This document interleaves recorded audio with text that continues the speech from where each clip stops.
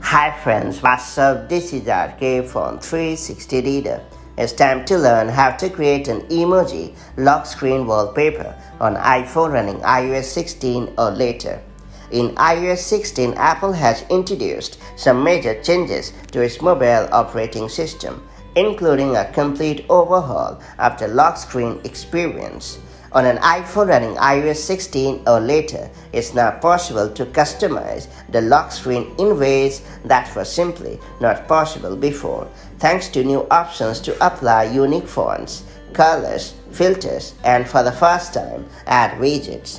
What's more, you can also create an emoji-based wallpaper. You can select up to 6 emoji symbols to include in your wallpaper to apply a layout style and even change the background color. That said, it's time to learn how to create a pretty cool emoji lock screen wallpaper on iPhone running iOS 16 or later the quick way. Before getting started, make sure you have subscribed our YouTube channel and hit the bell icon so that you won't miss any update from 360 Reader. First and foremost, you have to unlock your iPhone with Face ID or Touch ID. Then you need to press and hold the lock screen. After that, tap on the blue plus button or swipe leftwards all the way to the end and then hit the Add New button. Then you have to tap on the emoji button in the top row of options. Using the emoji picker, add the emoji symbols you want to feature in the wallpaper. Then tap on the X to close the picker.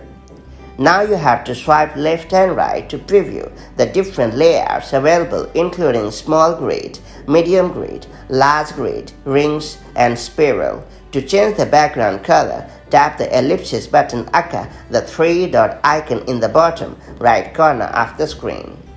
Then tap background in the pop-up. Then select a color and adjust the slider to get the hue that you want. Then tap on the X to close the color menu.